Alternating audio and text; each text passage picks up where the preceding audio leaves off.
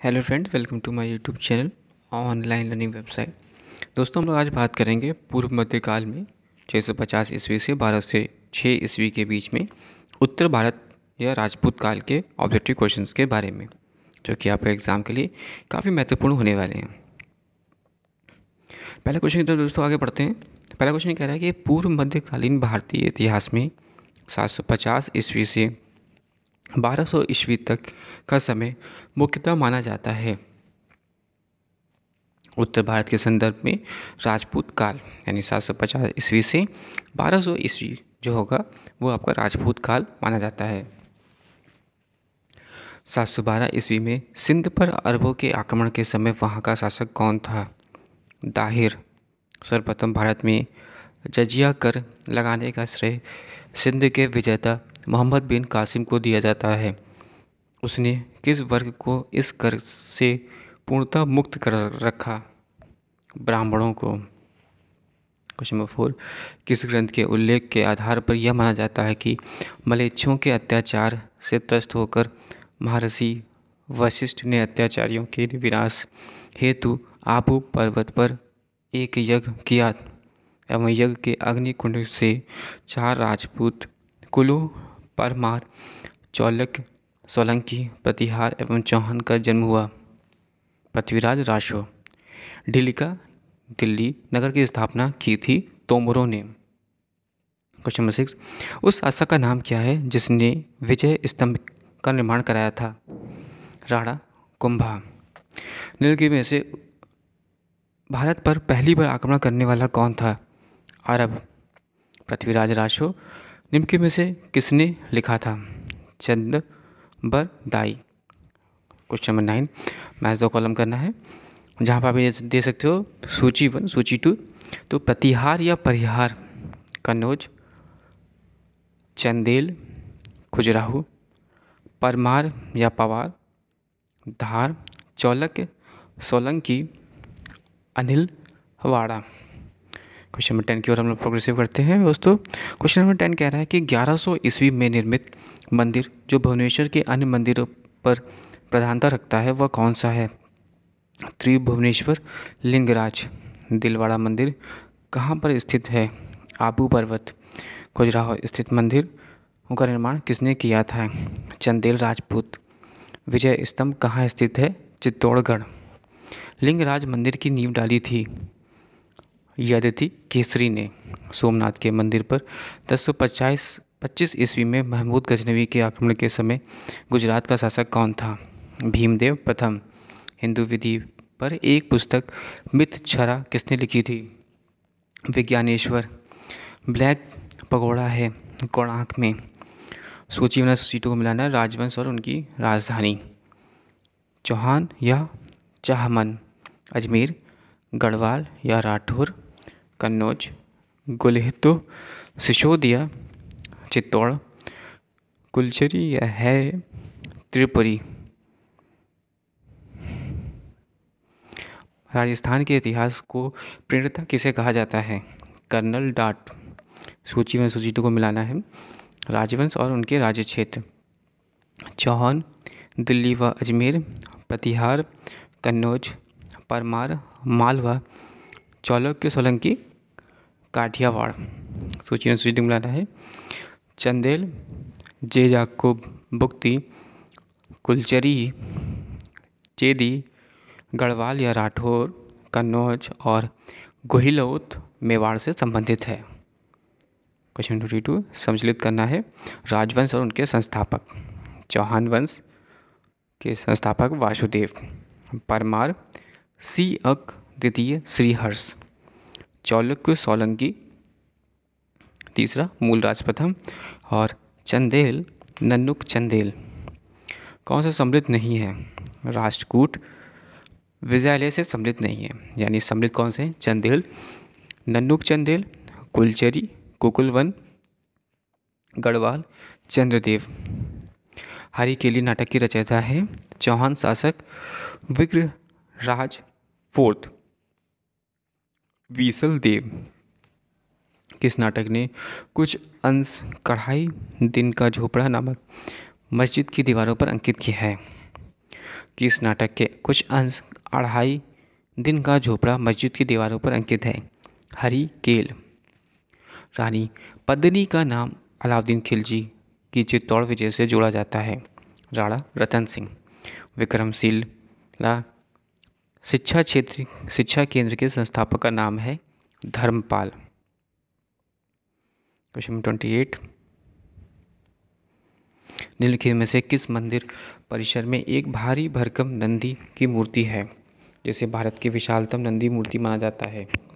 कंदरिया महादेव मंदिर। निम्नलिखित में से किसे एक नए संवत चलाने का यश प्राप्त है? लक्ष्मण सेन, गीत गोविंद के रचनाकार जयदेव किसकी सभा का अलंकृत करते थे? लक्ष्मण सिंह किसने सोमपुर महाविहार का निर्माण कराया था? धर्मपाल। भुवनेश्वर तथा पुरी के मंदिर में किस शैली से निर्मित थे, हैं? नागर। राजवंश, जो कन्नौज पर आधिपत्य स्थापित करने में त्रिकोणीय संघर्ष में उलझे हुए थे, वे थे। पाल प्रतिहार एवं राष्ट्रकूट भारत में प्रथम आक्रमणकारी था मोहम्मद बिन कासिम। जगन्नाथ मंदिर किस राज्य में है? जगन्नाथ मंदिर उड़ीसा राज्य में है। पुरी के स्थित कोणार्क के विशाल सूर्यदेव के मंदिर का निर्माता थे। कौन है? नरसिंह प्रथम। अजयपाल संस्थापक थे अजमेर के। लेकिन में से कौन कविराज के नाम से विख्यात था? भोज परमार। भोज परमार द्वारा रचित पुस्तकें हैं।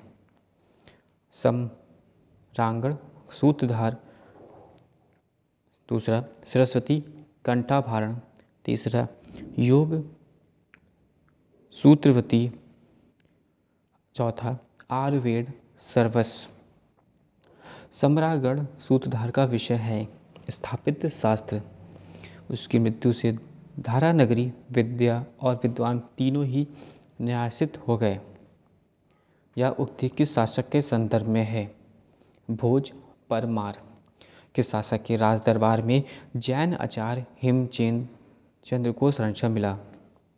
जय सिंह सिद्धराज और कुमारपाल क्वेश्चन फोर्टी थ्री वह भारतीय शासक कौन?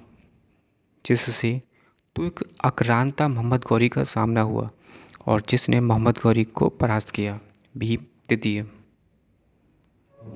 क्वेश्चन फोर्टी फोर किस शासक ने कलिंजर के अजय दुर्ग का निर्माण करवाया।